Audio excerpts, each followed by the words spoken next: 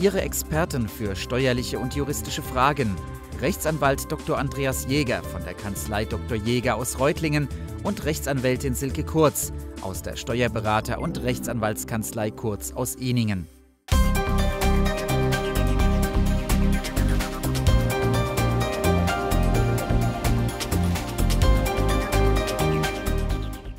Einen wunderschönen guten Abend, meine Damen und Herren, liebe Zuschauer. Ich begrüße Sie zu Forum Recht und unserem heutigen Thema Falschparken mit Folgen. Auch wenn es nicht immer gleich knüppeldick kommen muss, mit dem Verlust der Fahrerlaubnis ist Falschparken doch deutlich teurer, als man meint, von anderen Folgen mal ganz abgesehen. Wir sprechen darüber und freuen uns, unseren Experten und Rechtsanwalt im Studio begrüßen zu dürfen. Herzlich willkommen, Herr Dr. Jäger aus Reutlingen. Guten Abend, Herr Steck. Vor unseren Einspieler haben wir heute folgenden Fall. Volker B ist Student und stolzer Besitzer eines neuen Autos.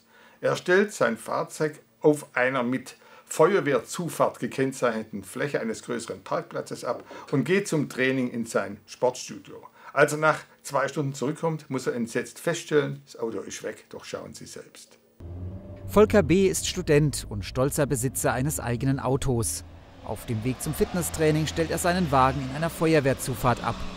Als er zwei Stunden später vom Training zurückkommt, ist der Wagen weg. Als erstes denkt er an einen Diebstahl. Mit seinem Mobiltelefon ruft er bei der Polizei an.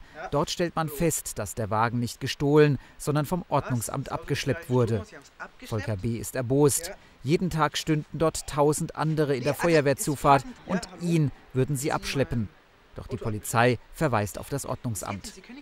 Dort weist man ihn auf die Feuerwehrzufahrt hin. Volker B. müsse mit einem Bußgeld und einer Verwaltungsgebühr für das Abschleppen rechnen. Da nützt nichts, dass er sagt, er habe bloß kurz trainieren wollen. Nach längerer Diskussion lässt er sich die Adresse des Abschleppdienstes geben und fährt mit dem Bus dorthin. Auf dem Parkplatz des Abschleppdienstes erlebt Volker B. die nächste Überraschung. Der Inhaber gibt ihm das Auto nur heraus, wenn Volker B. sofort die Abschleppkosten von 220 Euro bezahlt.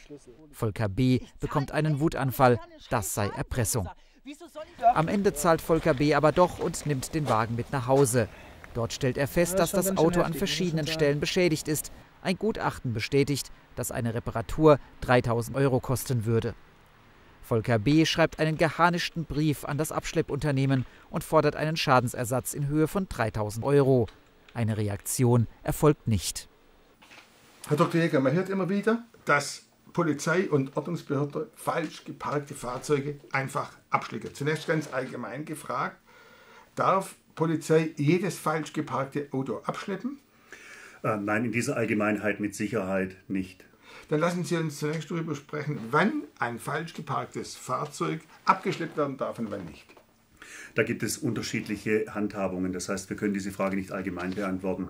Wenn Sie in einer Gemeinde wohnen, äh, wo es die Ordnungsbehörde etwas lockerer sieht, äh, also sprich, wo die Parkraumbewirtschaftung jetzt etwas äh, entspannter ist, können Sie mit einer großzügigeren Handhabung rechnen als in Gemeinden, wo die Parksituation sehr angespannt ist und wo die Ordnungsbehörden auch hart durchgreifen. Es kann Ihnen also sehr wohl passieren, dass Sie, wenn Sie in Ihrer Heimatgemeinde ein bestimmtes Parkverhalten haben, in einer anderen Gemeinde deswegen schon abgesteppt werden. Aber es gibt ein paar Klassiker, die, die, die man einfach beachten muss.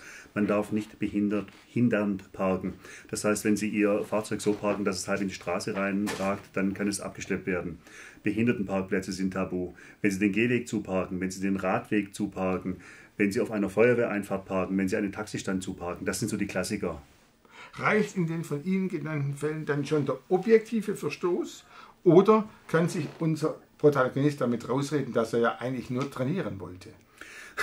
Nein, also er kann sich definitiv nicht damit herausreden, weil letztendlich diese zwei Stunden, um die es hier geht, die sind äh, zeitlich jenseits von Gut und Böse.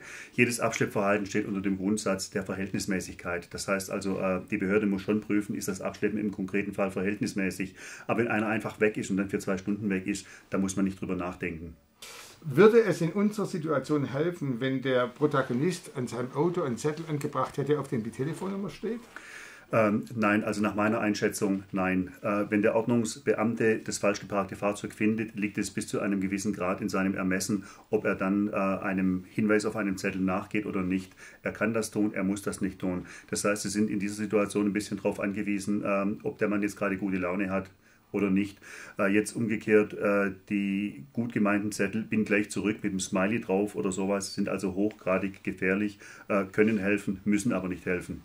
Was ist von dem Einwand unseres Protagonisten zu halten, dass er schon öfters beobachtet habe, dass auf diesem Parkplatz vor dem Sportstudio andere parken, die nicht abgeschleppt worden wären? Also kurz und bündig von diesem Einwand ist überhaupt gar nichts zu halten.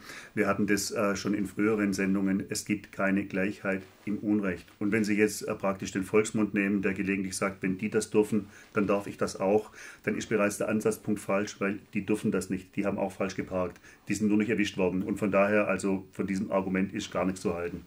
Können wir im Sinne eines Zwischenergebnisses festhalten, dass die Abschleppmaßnahme des Ordnungsamtes in unserem Fall rechtmäßig war?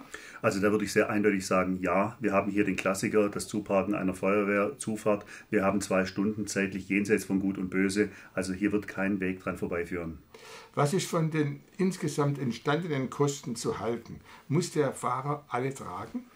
Äh, ja, also wir, wir, haben da das ganze Spektrum offen. Es geht mal los mit dem äh, reinen Bußgeld für den, für, für den Parkverstoß. Das äh, kommt je nach Intensität und Länge in unterschiedlicher Höhe auf den Fahrer zu. Wir haben dann in den meisten Bundesländern eine Verwaltungsgebühr für die Anordnung des Abschleppens, größenordnungsmäßig 50 bis 60 Euro.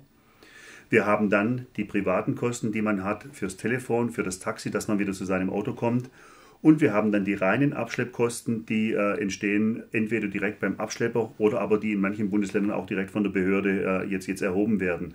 Und was noch dazu kommt, äh, wenn Sie das Pech haben, dass Sie am äh, Freitagmittag abgeschleppt worden sind, kann es Ihnen noch passieren, dass Sie am Freitagnachmittag bei der Ordnungsbehörde niemanden mehr erreichen und dann das Wochenende ohne Auto verbringen. Das sind alles Maßnahmen die, und, und Folgen, die passieren können.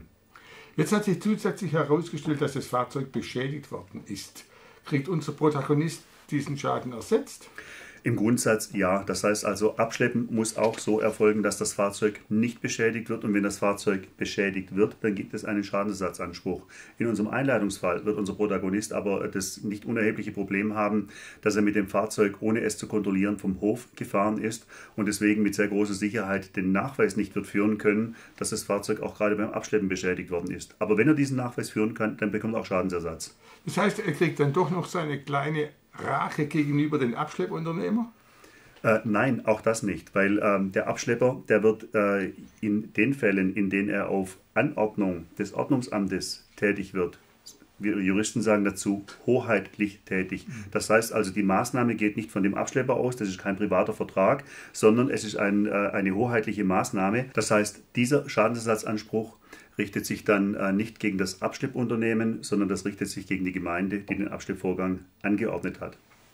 Abschließend betrachtet, Herr Dr. Jäger, was ist unseren Zuschauern im Zusammenhang mit Falschparken zu empfehlen? Herr Steck, ich möchte nicht moralisieren, aber äh, das Beste ist natürlich, Sie lassen sich nicht abschleppen und parken ordentlich. Aber das hilft im konkreten Fall nicht weiter. Wenn es Sie erwischt hat, dann äh, gibt es mehrere Grundsätze, die Sie beachten müssen. Der erste Grundsatz ist, bewahren Sie die Ruhe. Diejenigen Fälle, die äh, dann nachher, weil ein Mitarbeiter des Ordnungsamtes oder des Abschleppunternehmens dann beleidigt worden sind, dann noch vor den Strafrichter kommen und dann Folgen haben, die überhaupt gar niemand will, äh, sind nicht selten, einfach weil die Emotionen in diesen Momenten sehr hoch gehen. Das heißt, halten Sie sich unter Kontrolle. Der zweite Punkt ist, äh, wenn Sie wirklich Zweifel daran haben, ob die Abschleppmaßnahme rechtmäßig war, lassen Sie sich beraten. Sie kriegen das im Regelfall nicht alleine hin. Und der dritte Punkt ist, wenn Sie dann soweit sind, dass Sie Ihr Fahrzeug abholen beim Abschleppunternehmen, dann fahren Sie nicht einfach vom Hof, sondern kontrollieren Sie Ihr Fahrzeug auf sichtbare Schäden und machen Sie diese Schäden sofort geltend. Sie werden sonst wenn es um Schadensersatz geht, mit sehr großer Sicherheit das Nachsehen haben. Und viel mehr kann man Ihnen in dieser Situation leider nicht raten.